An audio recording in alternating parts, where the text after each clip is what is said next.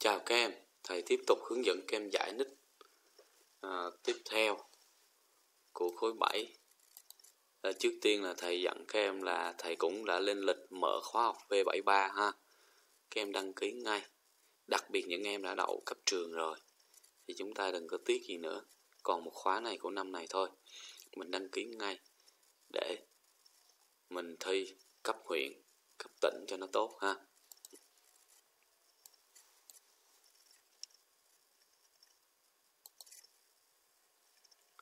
Bài thi đầu tiên. Bức tranh bí ẩn thì nó dễ. X bằng trừ 8 thì Y sẽ bằng trừ 32 Làm phép nhân là xong. Cái gì mũ không cũng bằng 1 Quy đồng bằng 1 phần 16 Giá trị nhỏ nhất của cái này là bằng trừ 6 Đã giải ở x1 rồi ha. Câu 5 X bình bằng 49 thì x sẽ bằng 7 hoặc trừ 7. Người ta đòi x âm thì các em chọn trừ 7. Cái này đã giải rất kỹ ở nít 1 các em. x sẽ bằng trừ 12. Quay lại nít 1 coi thầy giải tại sao là trừ 12. Cái này thì 4 cộng 4 là bằng 8. 2 mũ 6 chia 2 mũ 2 là 2 mũ 4 là thành 16. 16 chia 4 là ra 4 nè. Giá trị lớn nhất là bằng 50. Coi lại khóa học V71.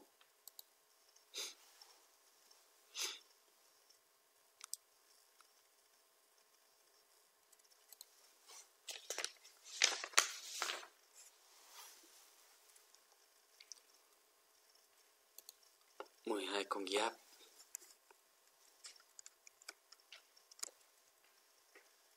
con rắn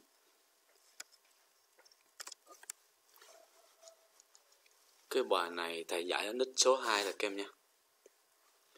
Kem coi lại nick số 2 đi.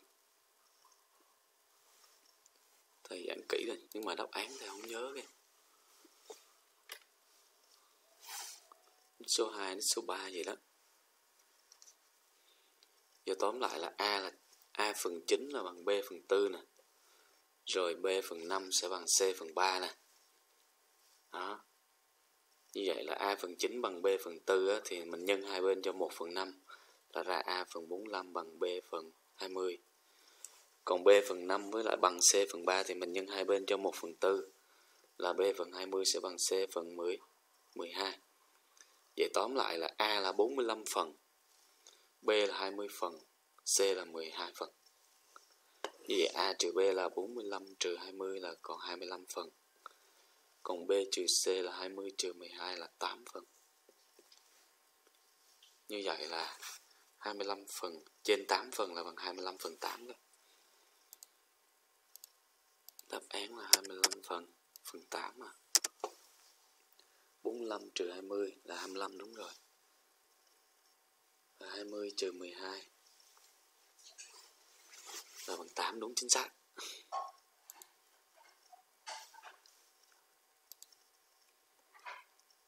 F0 thì phải bằng 7 mới đúng.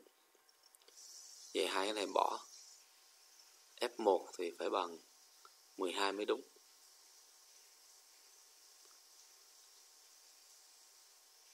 F4 F4 bằng F trừ 4 cái này đúng kìa. Các em tính đi. F4 và F trừ 4 là đều bằng bằng nhau và bằng à, 87 hay sao? Đúng luôn.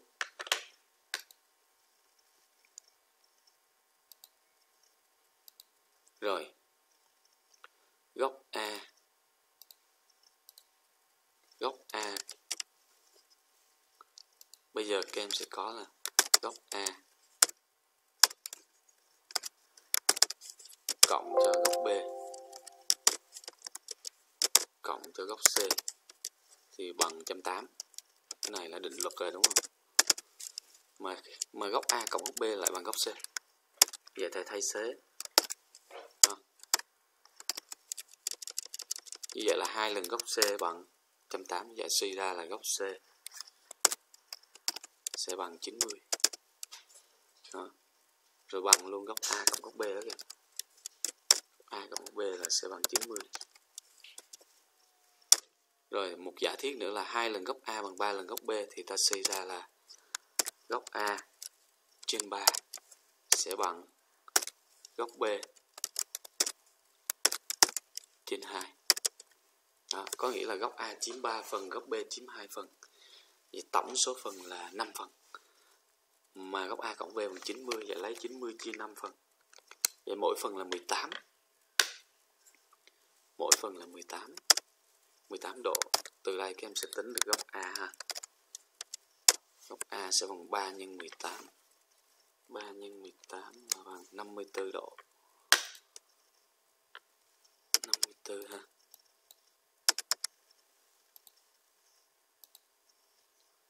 Trên cạnh OXOE XOE cái vẽ hình đi. A đây, B đây.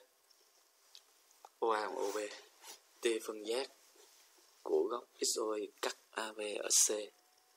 Như vậy là tam giác OAB là cân ở O. OC là vừa là đường phân giác, vừa là đường cao, vừa là trung tuyến luôn. Vậy C là trung điểm AB là đúng nè. Rồi AB sẽ vuông góc với OC là đúng. OC cũng vuông góc với AB là đúng. Vậy cái này là sai. OA bằng OB thì đúng, chứ làm sao bằng OC được? OC là ngắn hơn nhé. Con gà 5 con gà. A mũ N cộng 6 chia A mũ N cộng 2 thì giữ cơ số trừ số mũ ta ra A mũ 4 A mũ 4 tức là trừ 4 mũ 4 kết quả là 256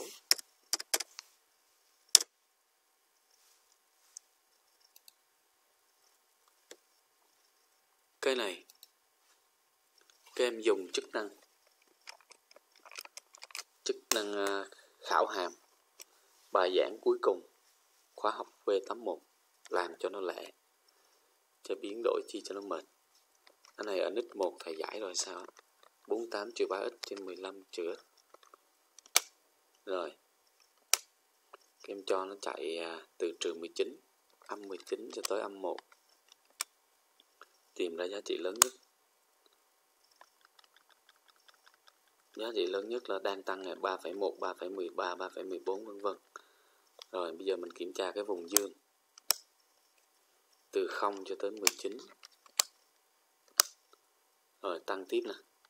3,2 3,3 3,4 3,5 4 lúc x bằng 12 thì nó đạt 4 sau đó tăng tiếp lúc x bằng 14 thì nó đạt 6 rồi sau đó nó giảm xuống em. Như vậy là lúc x bằng 14 là giá trị lớn nhất. X bằng 14 thì cái này sẽ đạt giá trị lớn nhất là bằng 6 ha. Rồi cái này thầy không có giải nhiều nữa. Coi lại khóa học V81 đi, ha. Không có thời gian đâu. Có bao nhiêu điểm thuộc? Cứ thay vô mà hai bên bằng nhau thì thuộc thôi không ra trừ 2 điểm A thuộc. Trừ 1 là thành trừ 3 thuộc luôn. 1 cũng thành trừ 3 vậy 3 điểm 3 điểm này đều thuộc. Nước 1 thì giải rồi.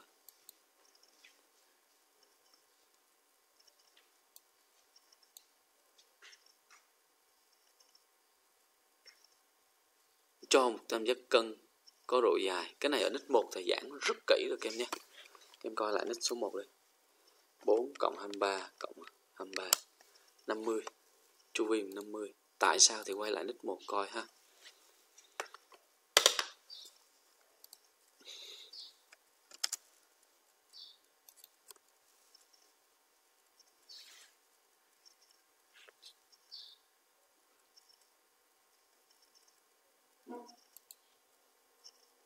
Cho tam giác cân. Em vẽ hình đi. Tam giác ABC cân tại C. Có góc C bằng 80 vậy B cũng bằng 80 A thì bằng 40 sai rồi. A bằng 20 á. 80 cộng 80 cộng 20 thì nó mới ra 180 đúng rồi. Tam giác ABC cân tại C. Ồ xin lỗi, sai rồi. Cân tại C. Thì C bằng 80 vậy là A với B bằng 50 trên cùng nữa một phẳng bờ AB ta kẻ TAX tạo với AB góc 25 vậy là thành tia phân giác rồi đó tia này cắt phân giác tia này cắt tia phân giác của góc B tại Y. Như vậy góc ACI ACI sẽ bằng 40 độ trời ơi. Các em vẽ hình ra các em thấy nó rất cân xứng ha. Thì CI là phân giác của góc C luôn đó. Thì giao điểm của hai tia phân giác, ba tia phân giác là phải cùng đi qua một chỗ. Ba tia phân giác phải cùng đi qua một điểm mà Vẽ lại hình nè. Tam giác tôi vẽ đây luôn cho các em khỏi lăn tăng đây tam giác cân tại C nè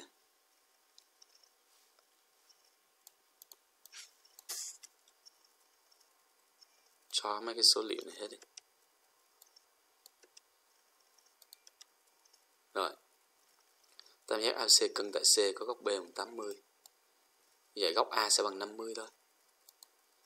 Giờ vẽ tia AX sao cho góc 25 thì nó thành tia phân giác. Đây 50 mà vẽ góc 25 thành tia phân giác. Rồi tia này cắt phân giác góc B tại đây. Vậy là hai tia phân giác cắt nhau tại đây, đúng không? Thì nối C với nó, thì đó chính là tia phân giác thứ ba hay gì nữa. Vậy lúc đó là đây là điểm ờ, điểm Y đúng không? Thì góc ACI là lấy 80 chia đôi thôi là bằng 40 ha.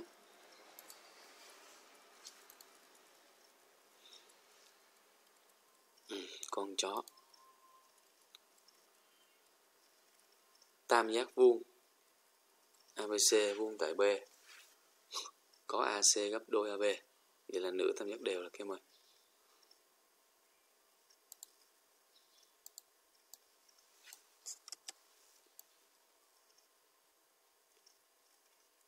Giác vuông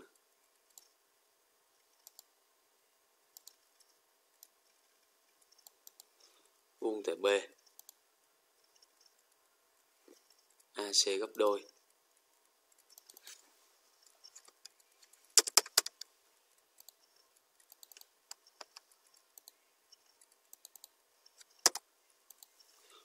AC gấp đôi AB là thành nửa tam giác đều chính xác luôn.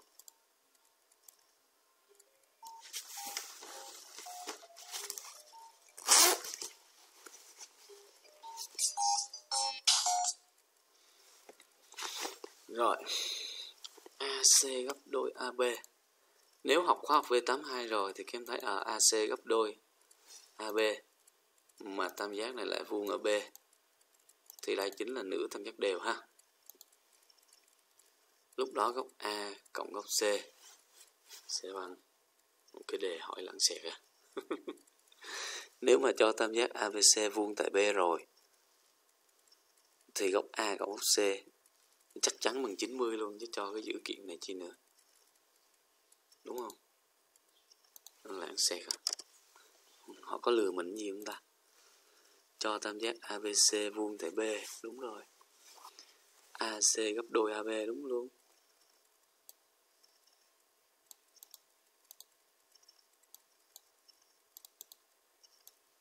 Thì thành nữ tam giác đều. Mà cũng chả cần nữ tam giác đều. Lúc đó tổng số đo góc A góc C bằng 90 hỏi lẫn xẹt à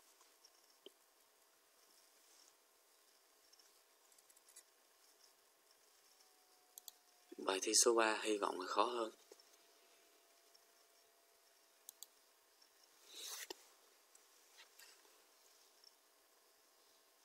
Rồi, cái này thầy lại giải nít số 1 nhé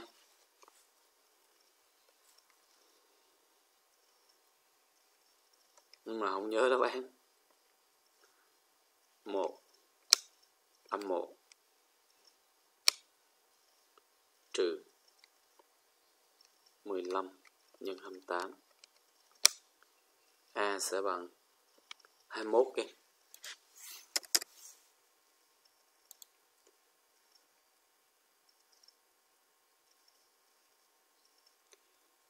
Đồ thị hàm số này đi qua điểm M. Như vậy là các em lấy M bằng 2 thay vào chữ X. Rồi lấy trừ 5 thay vào chữ Y. Thì A sẽ bằng trừ 5 chia 2. Tức là trừ 2,5.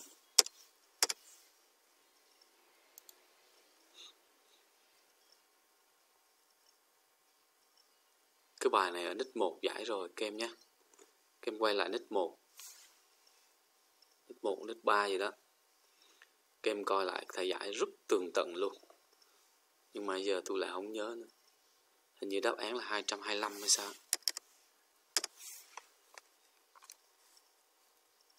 Nhớ không nổi. 4 phần 3 cộng 2 cộng 5 phần 3 rồi nhân cho 45 đúng 225 luôn. Chính xác. Cách giải kỹ các em coi lại trước nha. Bài này 3 mũ 6 bằng 3 mũ 2x đây lý thừa của lý thừa mà. Vậy x sẽ bằng 3 đó. X bằng 3 thì 3 bình là bằng 9 9 cộng 4 là bằng 13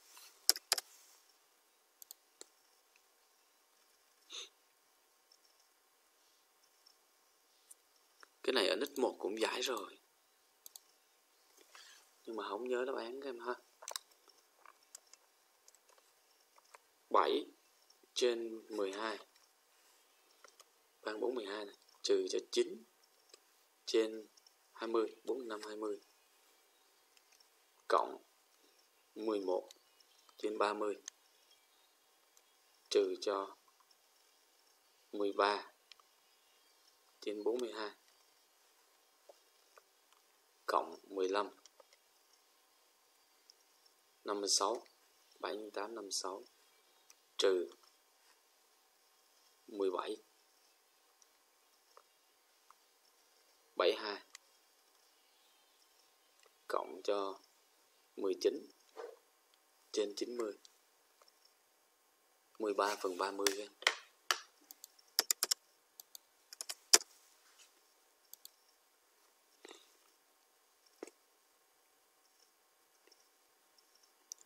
Rồi bài này thầy sẽ giải kỹ bởi vì chưa giải. X trừ 1 cái này như ở trong khóa học V72 kia, nhìn quen lắm. Đúng chính xác trong khóa học V72. X trừ 1 bằng y trừ 2. Này học rồi, làm rồi. Ví dụ trong V72 Z trừ 3 trên 4 ba cái này bằng nhau thầy đặt đại bằng k đi từ đây thì suy ra là x trừ 1 sẽ bằng 2k mà x trừ 1 bằng 2k thì x sẽ bằng 2k cộng 1 tương tự, y sẽ bằng 3k cộng 2 z sẽ bằng 4k cộng 3 đó. Bây giờ ta sẽ có bây giờ ta có gì? Đề cho là 2x nè.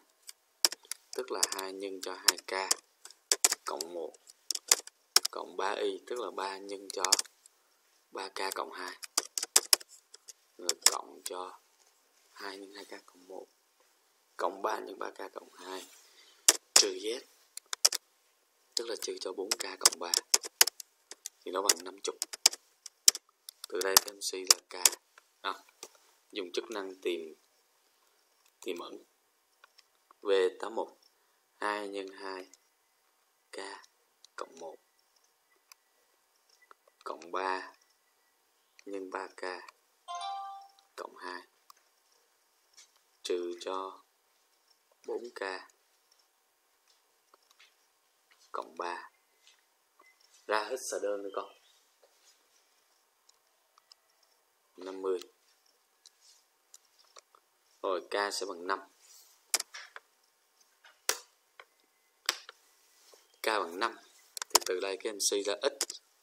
X sẽ bằng 2 nhân 5 là 10 cộng 1 là 11 y sẽ bằng 3 nhân 5 15 là 17 3 nhân 5 15 27 z sẽ bằng 4 5 20 20 cộng 3 là 23 2 x 5 là 10 11 3 x 5 15 27 4 5 20 23 11 cộng 17 cộng 23 là bằng 51 51 kìa. Sợ sai quá. 2 cộng 3 cộng 4 nhân cho 5 rồi cộng 1 cộng 2 cộng 3 đúng bằng 51 luôn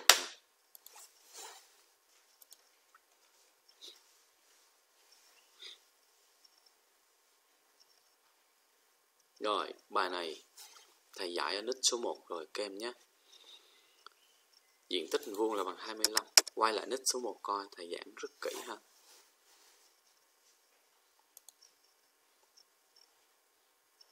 Cái này trùng nít số 1 nhiều quá, chắc thầy phải giải thêm nít số 4 thôi. X cộng Z cũng giải ở nít số 1. Nó sẽ bằng âm 17 trên 3. X là bằng âm 17 trên 3. Cộng cho 2005.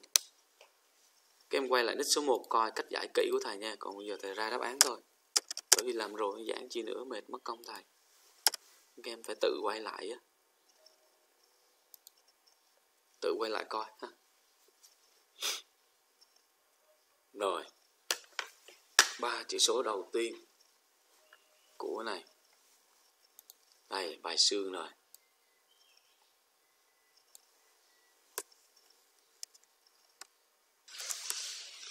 Bài này á, thì chắc chắn các em sẽ không thể nào mà mà tính ra được rồi. Thành ra đừng có mơ mộng mà tính ra các em nhé. Bài này mình dùng cảm giác toán học. Mình dùng suy luận cũng được. Mình chặn lại. Thì trước khi giải bài này thầy nhắc lại là các em chú ý là đăng ký ngay khóa học V8 V73 ha. Những em đậu cấp trường rồi thì mình chỉ còn khóa học này nữa thôi. Để sau Tết mình thi huyện và thi tỉnh các em cố gắng tham gia ha. Cố gắng tham gia các em sẽ đạt kết quả tốt thôi. Vào trang web bùi nguyên luận wordpress.com để xem thông tin. Bây giờ các em coi nè. Cái tổng này á, thì 1.000 mũ 1.000 là quá lớn. Riêng cái đám lần trước á, là không có xin nhê so với 1.000 mũ 1.000 đâu vậy là khi cộng lại á, thì cái số này nó vẫn lớn ác mà cái số này á, là nó sẽ là một không không không không không không không không. Là số 1 với lại ba ngàn ba ngàn ba ngàn số không đằng sau nhiều số không lắm không nó tóm lại là nó sẽ dẫn đầu là bằng một không không không rồi nguyên cái đám đằng sau là không có xi nhê gì hết, cộng vô như vậy là dẫn đầu vẫn là một không không không gì đó thôi. Vậy là ba chữ số đầu tiên thì thầy sẽ thấy ngay nó là bằng một một không không thôi. Nhanh nhạy một xíu kìa, đừng có toán học quá, ha. Cho tam giác đều abc thì vẽ các cái phân giác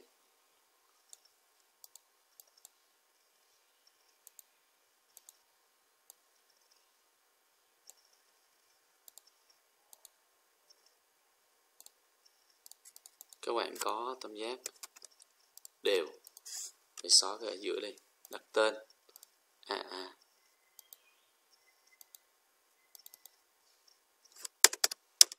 ABC ha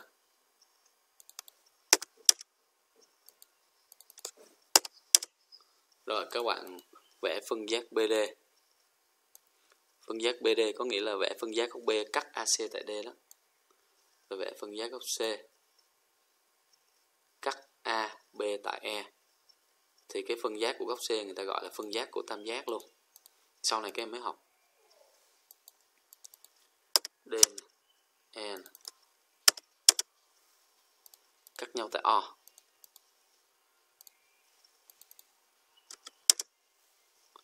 tính góc AOB. Như vậy cái tam giác đều nó rất là cân xứng các em. Bây giờ góc B là bằng 60 độ. Như vậy là cái góc B con là sẽ bằng 30 độ nè. Chia đôi lên. Ở trên này cũng bằng 60 độ à 30 độ luôn. Hai phân giác